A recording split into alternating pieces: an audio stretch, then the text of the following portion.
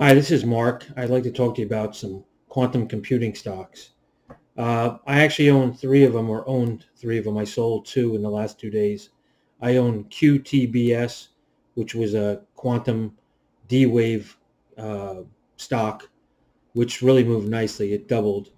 I own uh, IO, IONQ, which is an ion jumping type uh, quantum computing stock uh, that actually went in half, so I lost money on that.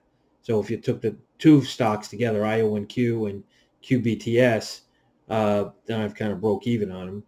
Uh, and then I own Rigetti computers. Well, recently the stock prices have been dropping.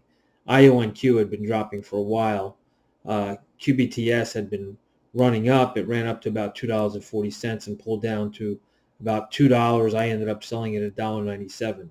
That might be a big mistake for that stock because it was really moving nicely. Uh, but I am so used to watching my price of my stocks go down and watching them go down. It's it just disheartening. I wanted to get some profit out of it. Uh, IONQ uh, and QBTS versus Rigetti. I think the big differences are uh, Rigetti and QBTS.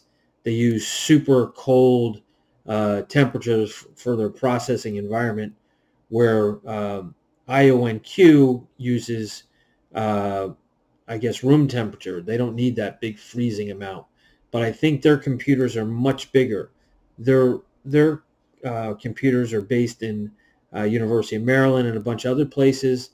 They had quite a bit of hype. The stock was up to about $18. I had bought it. Foolish, big foolish mistake, and now it's half.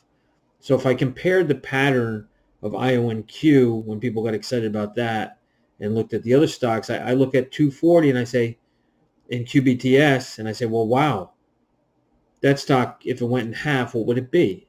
You know, obviously it would be about a dollar twenty, which I might want to buy it back at somewhere around a dollar fifteen, a dollar twenty.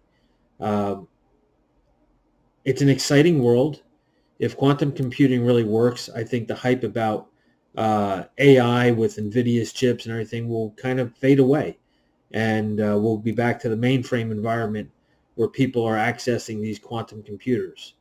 Uh, that's pretty much all I know about it. I know that they can figure out, you know, complex math and complex computing problems, and the world is desperate for it. We are in a very bad situation worldwide, whereas we have so many resource problems, we have so many uh, potential military problems, medical problems, and everybody's looking to compute information much quicker and to implement AI on the right platform. So I do think that the environment for quantum computing is right. Uh, I just don't know uh, if the possibilities are 100% clear yet. But I do think that this is a trending type industry I will definitely be back into it. I hope I didn't make a big mistake by selling, uh, but uh, it seems pretty uh, exciting. So that's all I have to really say about uh, QTBS or QBTS and uh, RGTI and IONQ. Uh, I'm in play.